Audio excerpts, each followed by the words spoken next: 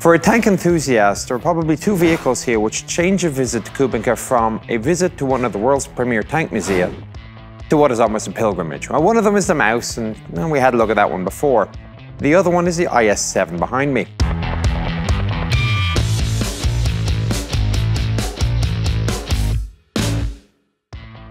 Now, the development of this started in the summer of 1945 in Leningrad under the leadership of a chap by the name of Nikolai Shashmurin. It was given the project code Object 260, and later IS-7 as we know it today. It is one of the most advanced heavy tanks and possibly the ultimate of the type. Although it never saw service, it is still fascinating to see the development of the vehicle just from the technological perspective. I have not actually looked into this vehicle yet. I've not even as much as looked inside an open hatch. So uh, this is going to be a bit of a voyage of discovery for yourself and myself. I'm been very much looking forward to having a look at uh, what makes the inside of this thing tick. So we're going to do this, of course, we're going to tease you. We're to do the outside first, which you've seen photos of, but then, yes, inside the hatch we go. The front of the tank is all about the armor. This thing was designed to withstand anything on the World War II battlefield up to and including the 12.8 centimeter fired by the Jagdtiger, at least as far as one kilometer. As a result, the armor plate, upper slope 150 millimeters, angled at 65 degrees. You maintain the same pike nose as you found on the IS-3. Lower front slope, according to the reference material I had in front of me, 10 centimeters, but actually looking at it with a measuring device, we came in about 11 and a half to 12, depending on the thickness of the weld. The mantlet, about 35 centimeters, and the front turret is somewhere around 240, 250, angled at 50 to 60 degrees. Basically, well protected. Other features at the front, well, of course, you have the single-piece driver's hatch, which swings up and to the right. Two headlights protected by brush guards. Tow hooks and clevises combined in one piece. And no muss, no fuss mud guards. Simply hinge forward to reveal the track, which was specially made for the IS-7.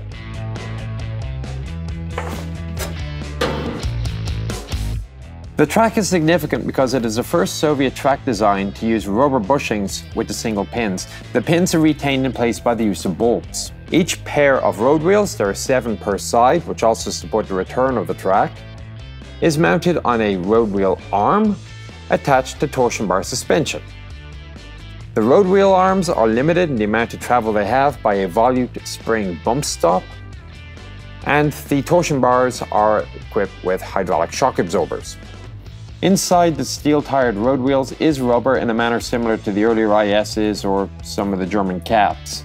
This keeps some of the vibrations down whilst maintaining uh, some service life to the outside of the wheels. However, of course, it also does mean this is a noisy track because you have metal wheels running on metal track. Track tension, front of the tank, similar to the IS-3 with the large hex-sided screw that you rotate clockwise, counterclockwise, it'll move the idler wheel forwards and backwards. No surprises there at all. Presumably on the basis that there's no point in half measures, the side armor in this thing is just stupid. You got the same 15 centimeters on the upper side plate as you do on the front hull. The lower side plate is all of 10 centimeters thick, and what they did was they took a great big press and they actually bent the metal to start to come out and it meets with the upper plate here at this intersection. Now this means that if you block off with this sheet metal, you have additional stowage space. Now I say stowage, but it's something that you really don't want to have to access too much because there's no hinges here. And if I pull this off and eventually lower it, uh, you can see how the entire thing is just falling down. So if you have anything metal in here like track jacks or uh, you know lots of tools and so on, you have to have two or three guys lifting this up in order to fit this back in. This particular compartment, it has a, a canvas bag, I guess, for lack of a better term. It is an inflatable fuel tank. So if you remember, of course, on the older World War II tanks, you had, let's say the T-34 would have the 90 liters on the side. Same general concept, except it's a collapsible bag and it just fits in the unused space here. Further forward, I suspect those aren't fuel tanks and it actually is stowage. Put this back up there momentarily.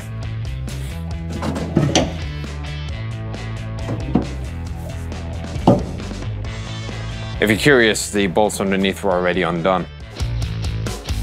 Another interesting feature, of course, you're going to see the external machine guns. Now, you think the Israelis love machine guns, they put them on absolutely everything and as many as they can.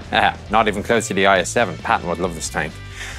On each side of the hull is a fixed forward-firing SGS-43 aimed by the driver. So in order to aim it, he's got to turn the tank hull left or right, and for elevation and depression, I guess he's just got to play with the accelerator and the brake. Can only imagine how much fun the crew were having inside the rest of the tank, as the driver is having a time of his life trying to get spray on target somewhere over there. The guns are mounted in armored housing, ammunition is stowed in a compartment here, feeds up inside a chute. The spent belts, uh, belt links come out the side here. The shell casings come out of here. Two external machine guns, of course, isn't going to be enough. They have, if you look up, two more SGS-43s, one on each side of the turret facing to the rear. As you climb up onto the back deck, the first thing you'll see are the traditional Soviet armored plugs for accessing the various uh, liquids. So coolant will come under here and these two are oil for the engine and transmission. Next thing you'll see is a large travel lock for the 130 millimeter. Further down on the angled back deck, you have the mounting points for more external fuel drums,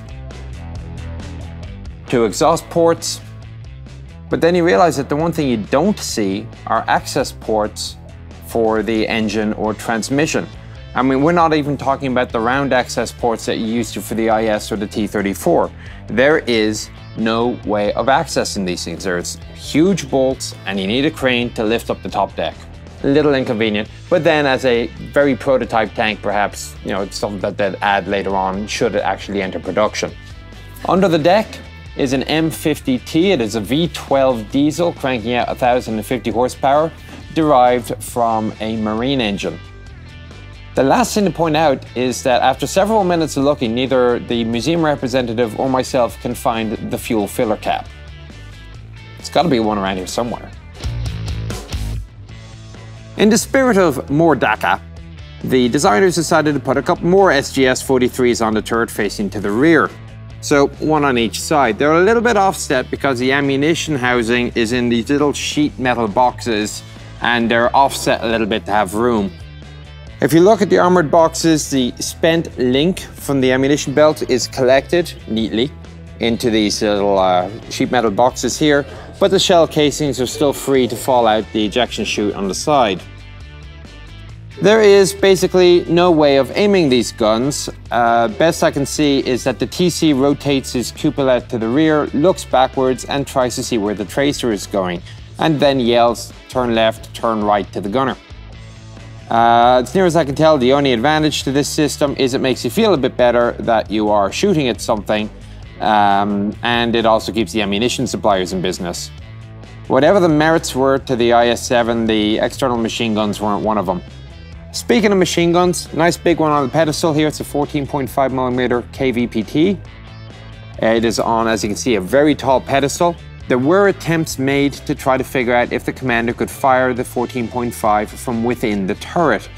Any attempts failed, so it's now used by standing on the top deck exposed to all and sundry and shooting it like a very large machine gun. To stow it, there's a large cotter pin here. It's already sort of half out.